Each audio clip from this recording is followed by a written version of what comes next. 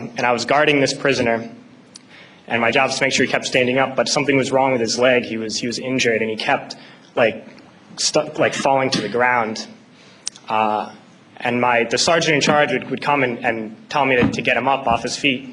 So I'd have to pick him up and put him against the wall. And oh, he kept going down. I just have to keep pulling him up and putting him against the wall. And my sergeant came along and, and he was upset with me for not, you know, making him, con, you know, continue to stand. Uh, he picked him up and, and slammed him against the wall several times. Um, and then he left, and, and when the man went down on the ground again, I noticed blood pouring down from under the sandbag.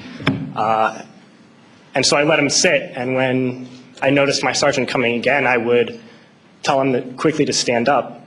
And I realized that I was supposed to be guarding my unit from this detainee, and at that point I realized I was guarding the detainee from my unit.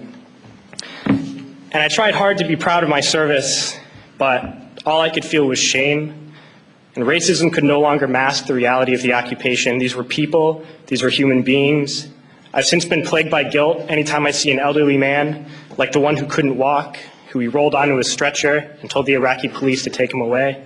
I feel guilt anytime I see a mother with her children, like the one who cried hysterically and screamed that we are worse than Saddam as we forced her from her home. I feel guilt anytime I see a young girl, like the one I grabbed by the arm and dragged into the street. We were told we were fighting terrorists.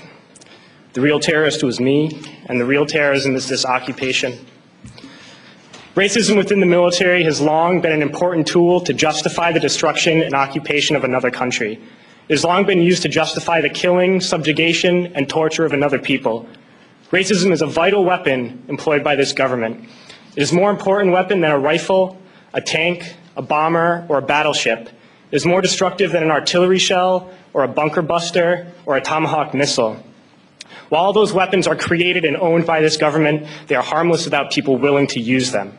Those who send us to war do not have to pull a trigger or lob a mortar round. They do not have to fight the war, they merely have to sell the war. They need a public who is willing to send their soldiers into harm's way. And they need soldiers who are willing to kill and be killed without question. They can spend millions on a single bomb, but that bomb only becomes a weapon when the ranks in the military are willing to follow orders to use it. They can send every last soldier anywhere on earth, but there will only be a war if soldiers are willing to fight.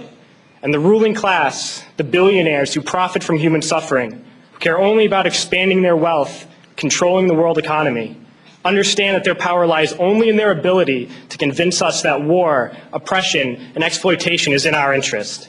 They understand that the wealth, their wealth is dependent on their ability to convince the working class to die to control the market of another country. And convincing us to kill and die is based on their ability to make us think that we are somehow superior. Soldiers, sailors, Marines, airmen, have nothing to gain from this occupation. The vast majority of people living in the U.S. have nothing to gain from this occupation. In fact, not only do we have nothing to gain, but we suffer more because of it. We lose limbs, endure trauma, and give our lives.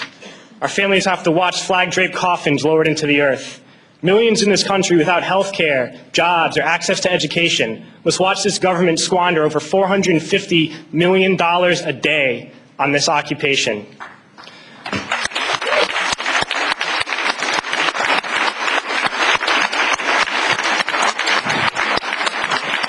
Poor and working people in this country are sent to kill poor and working people in another country to make the rich richer. And without racism, soldiers would realize that they have more in common with the Iraqi people than they do with the billionaires who send us to war.